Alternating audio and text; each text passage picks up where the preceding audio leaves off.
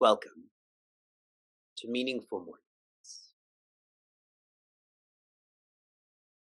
One of our most significant challenges with relating to people is expectations. Another word for this is projection or vikshepa. How does one regulate this? By vichara. The more one reflects, the less one projects, expects, and so on. A more severe struggle of ours is superimposition, which is feeling that you're something you're not. In Sanskrit, this is called Tat Atmiya, that I am that, I am that. And we feel this because we have this disease of becoming. I have to become that. I have to become that. And the way to regulate this, three powerful words, tattvamasi. You are not that. You are not that. You are that which is all.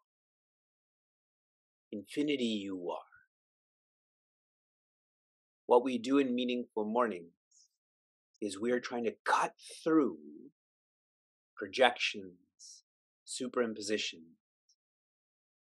And the finality of meaningful morning should be the feeling, aham brahmasmi.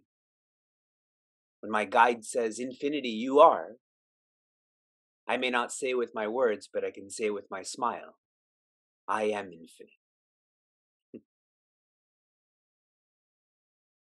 Bhagavad Gita's chapter 10 can be described as seeing Sri Krishna as being omnipresent.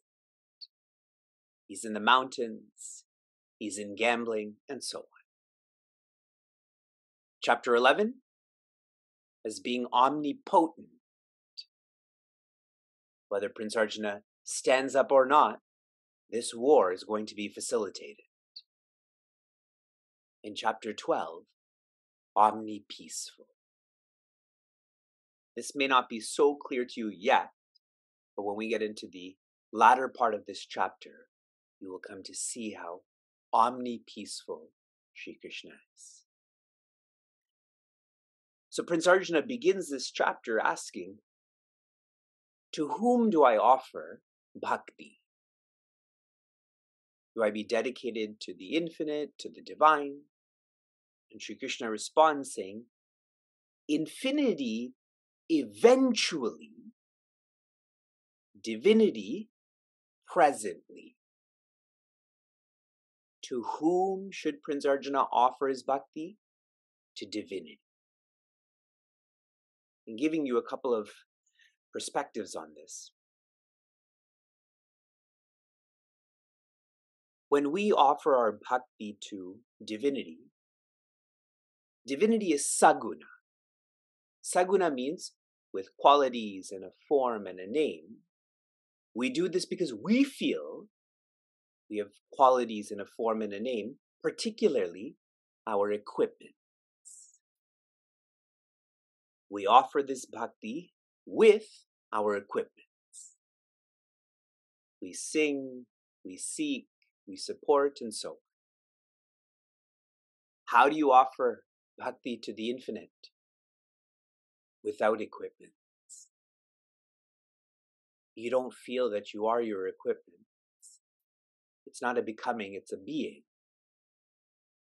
Are you ready for that? We're not thus far. So Sri Krishna is telling us practically what to do. Here's another perspective when you are in a controlled environment and you are contemplating with your eyes closed, then try to offer your bhakti to infinity. And as soon as you open your eyes, you shift to the uncontrolled environment. Offer your bhakti to divinity. That is the perfect balance of offering bhakti comprehensively. There will be a time, though Shri Krishna said in no time, there will be a time when you are enlightened. And I pray that it's before this body dies, meaning your body, my body. And at that time, you should feel inside that you and your trust triangle are the same. You and your guide, you and your map, you and your divinity are the same. That's the nature of oneness. But outside, you must never feel that you are the same. You must continue to serve your trust triangle. Those perspectives are clear. Let me offer a little bit more before we go to the next verse. Bhakti is facilitated by Shraddha. The more faith you have, the more dedicated you are. As an example, if you were to buy a plane ticket from a website you don't have faith in, you're not going to be dedicated to that website. You're going to do so much research, question your credit card, and so on. Yes. Based on the verses we've studied so far, Shri Krishna has shared this is how you should live for me, but for the reflector, this is actually how Shri Krishna is living for us. He's the one who's always concerned with our welfare, facilitating our welfare. Swami Tejomayananda shared. Shri Krishna is not our wish fulfiller, he is our well wisher. And if you just reflect on that, you will see the truth in this and be more devoted. I was interacting with a seeker recently, and he was sharing they had a child un- unexpectedly. And this really threw his life particularly out of control. And I was sharing with him that the nature of living is not being facilitated by you, but rather by Sri Krishna. And with that one insight, you'll stop feeling deflated and instead you'll be devoted to what has happened to you. And visually, he agreed agreed with me. I don't know if he felt it inside. Hmm. And that's why a critical point in all of the verses we've studied so far, and this will be accentuated in the next verse, is surrender. Surrendering is actually saving. You surrendering your bhakti is a way of you saving yourself, saving yourself from negativity, from dejection, and so on. In verse 8, the word tasmat is not used, but you have to feel that there's a tasmat, a conclusion that's being shared. This is a famous verse. Mayeva mana adatsva, mai buddhim niveshaya, nivasishyasi mayeva, atha urdvam na samshayaha joy. Mai, this word comes many times, which means in me, relatedly for me. Mana adatsva, the mind is to be fixed in me. The next quarter, Mai comes again. Buddhi niveshaya, the intellect is to live in me. Now, these aren't even teachings. This is the truth. We've already experienced this in chapter 11.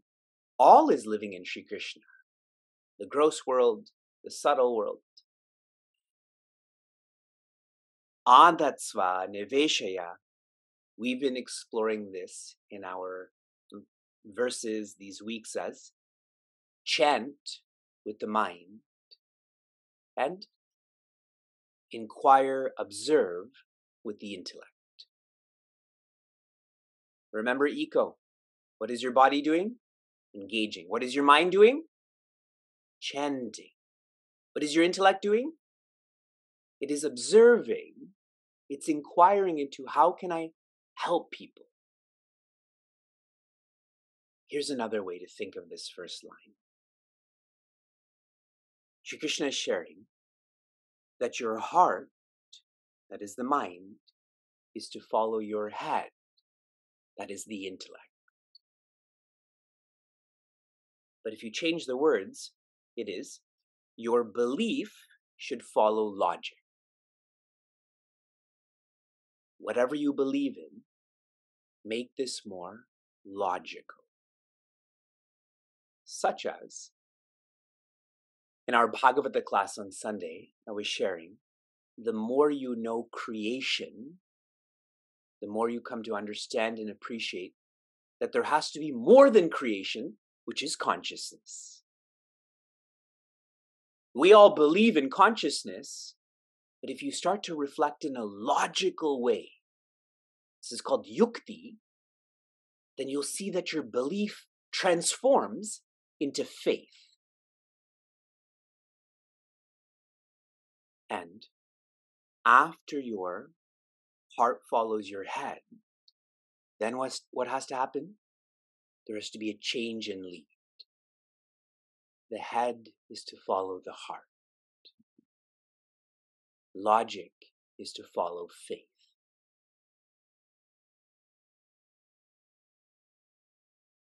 Everyone's recognizing that. You can't use logic to get to the ends. Logic is a means. Faith is the methodology to get to the ends. What will happen if you reflect on that you're living in divinity, so you're living for divinity? Nivasishyasi mayeva. Mayi, that word is coming again you will live in Sri Krishna alone. You will not live in pleasure or possession or position. You will live in peace. Try to feel that. We're so used to writing rest in peace. That person doesn't even know that they're resting. Can you live in peace? I'm going to read to you two insights from Pujya Swami Chinmayananda. The Gita rightly advises that the devotee must bring his discriminating intellect to pierce through the stony idol of contact and contact the pulsating truth it represents. His point is that Sri Krishna doesn't live in your puja room. Sri Krishna doesn't live in the mandir. Sri Krishna lives in all, including you, you have to go deeper, be more authentic than just belief and logic, to have the faith that He is our well wisher. If our minds are resting on the Lord and our intellects have dived into the very depths of the infinite, our individualities end and we merge to become one with the infinite, the all pervading. Therefore, the Lord says, Thereafter you shall live in me. We identify so strongly with our minds and intellects. What if that identification so strongly was in Sri Krishna? Then you'd identify with him, you would be it. Summarizing, as we shift in thought, this portion of Bhagavad Gita is on upasana. Another word for upasana, bhakti. Another word for bhakti, devotion. Another word for devotion, dedication. When you reflect on whom you're living in, how can you not live for the one you're living in? To me, these are not teachings. These are not insights. These are facts. From inspiration to application. Your application yesterday was to rate how ready you are to die. Are you happy with your reflection? Or un- unhappy with your reflection? I see a hundred, awesome, and an eighty. Those are good, good numbers. Another hundred, wow. For Vivek, I also feel it's high, and the reason for this is our nature is awareness. When awareness as if gets expressed as creation, do you know what that is? That's Bhagwan's dream. We're all living in Bhagwan's dream. What can happen to us? Nothing can happen to us. So I reflect a lot on that.